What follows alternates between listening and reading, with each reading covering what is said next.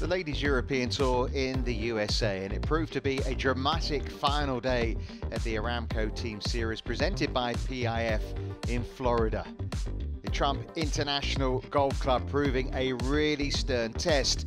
First resolution was the team event where the delays on Friday meant it was a Sunday morning finish as Nuria Iturrioz hold the putt that confirmed that Team Roussin were the champions, along with her teammates Trish Johnson and their amateur Michael Bickford.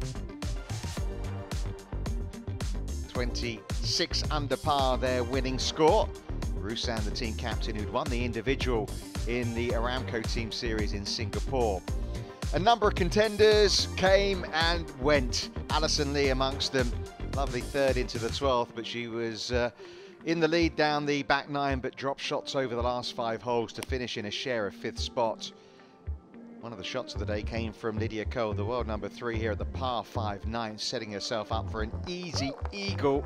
She had her chances as well, but a final day 73 left her at even par and in a share of third place with Olivia Cowan, who had started the final round in a share of 18th place. But shots like this helping her to a 68, the second equal lowest round of the week.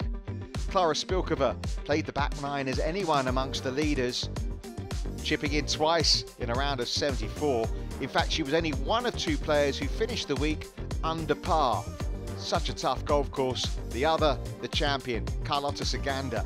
This her birdie putt at seven. She led it three by three at one stage over the back nine. Made a double bogey at 16, so it was only a one-shot lead coming down the last.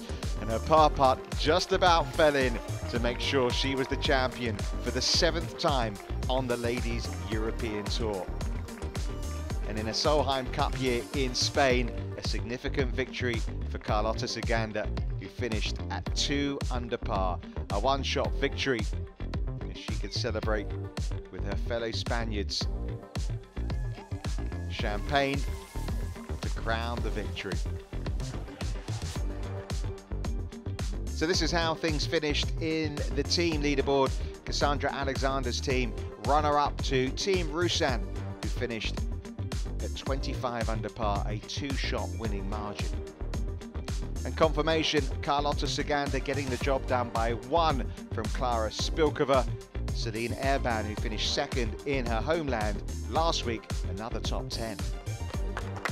Team Roussin, Pauline, Trish Johnson, Nuria Iturrioz and Michael Bickford getting their hands on the very big team trophy. Well, Carlota Ciganda getting her hands on the individual crown.